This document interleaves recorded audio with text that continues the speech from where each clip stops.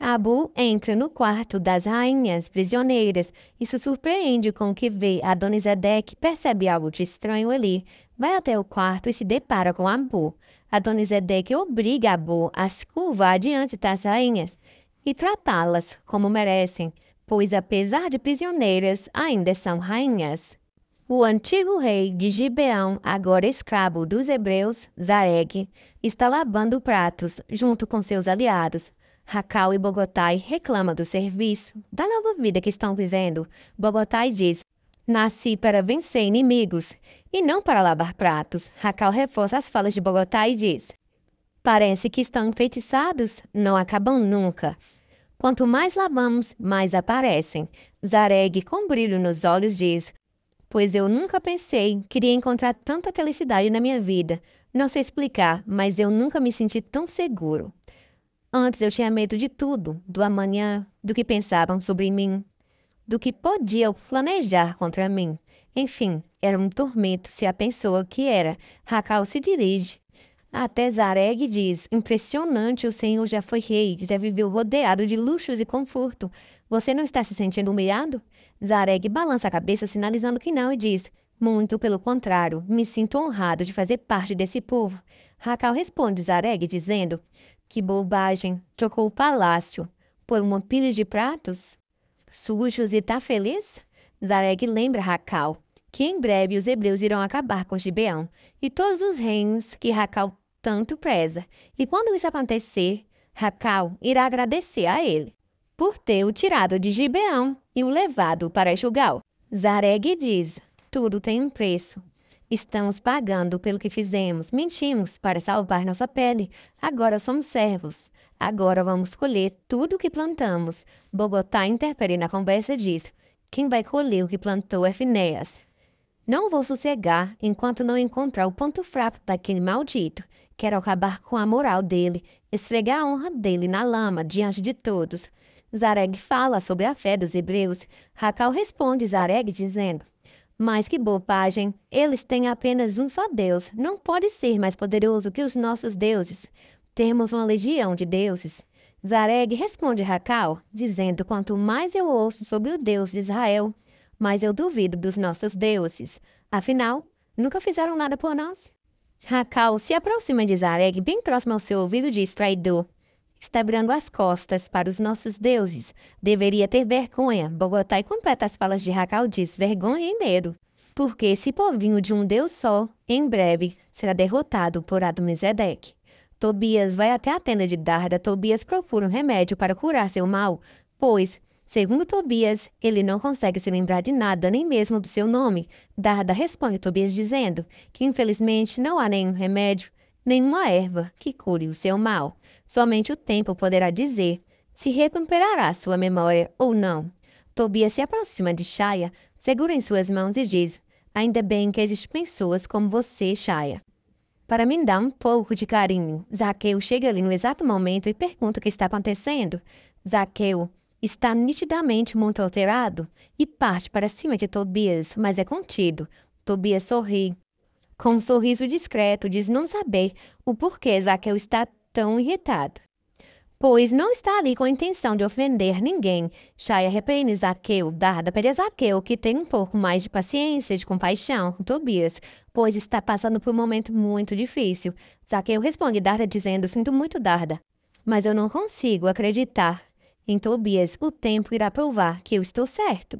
Já na tenda de Mara, Racal chama Mara de rainha hebreia. A pergunta se está mesmo disposta a fazer um feitiço de verdade, sacrificar uma criança aos deuses cananeus, para conquistar seu objetivo, destruir o casamento de Eloy e Yoná.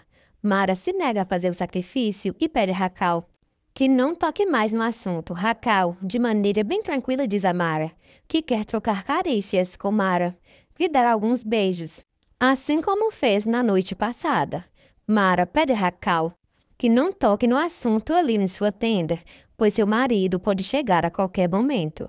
Racal e Mara combinam de se encontrar no celeiro à noite. Chega a noite, Mara e Ayud estão fazendo sua refeição. Mara praticamente arranca o prato das mãos de Ayud, que a pergunta o que está acontecendo. Mara responde seu marido dizendo que já é tarde, está na hora dele dormir. Mara diz: Eu preciso sair. A Yudi lembra sua esposa que ela é uma senhora casada e também já está muito tarde para ela sair.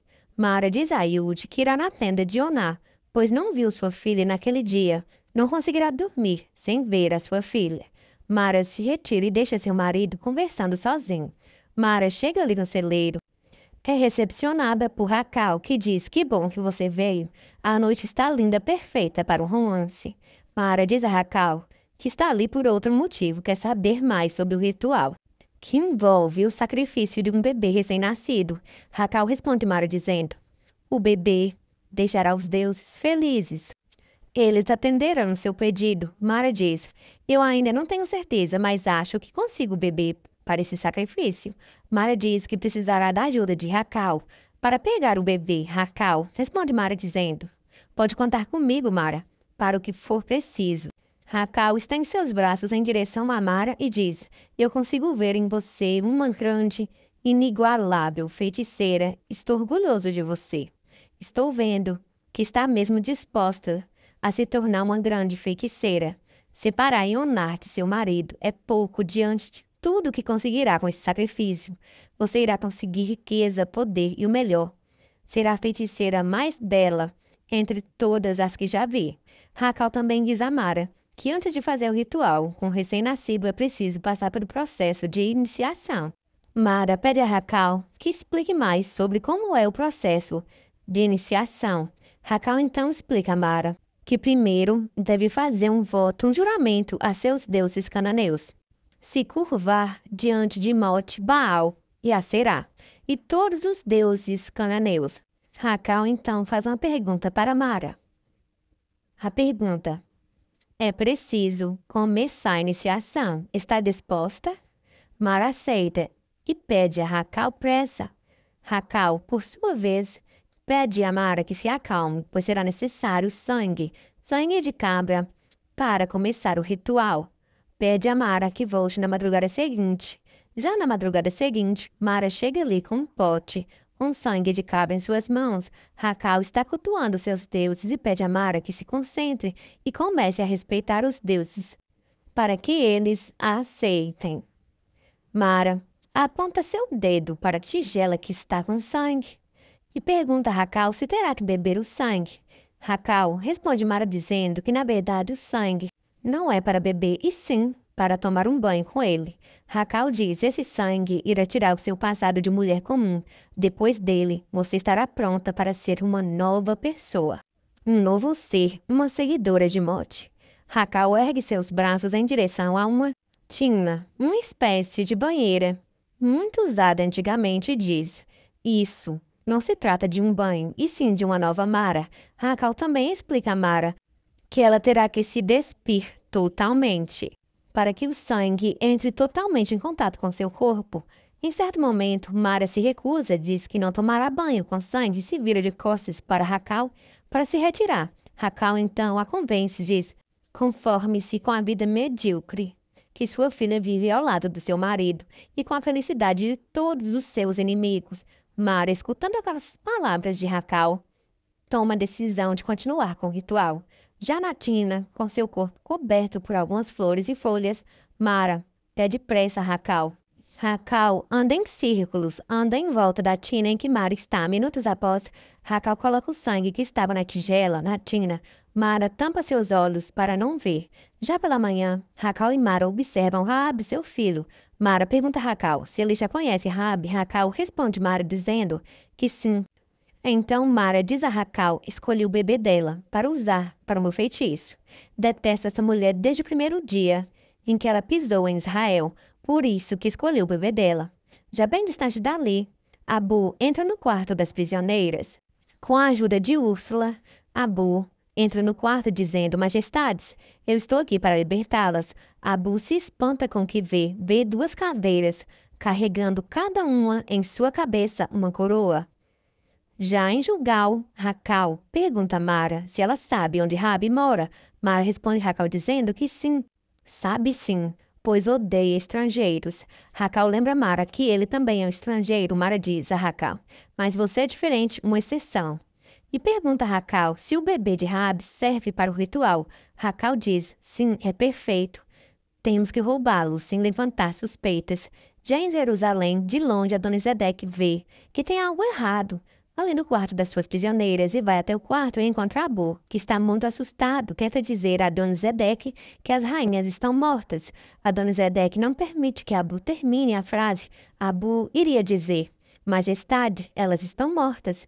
Mas é interrompido por Adonisedeque, que diz: Eu sei, elas estão muito bem, são prisioneiras, mas eu as mantenho bem alimentadas e com muito conforto. Adonisedeque começa a conversar com as caveiras de sua falecida sogra esposa, ali diante de Abu, que fica desnorteado, tentando entender o que está acontecendo.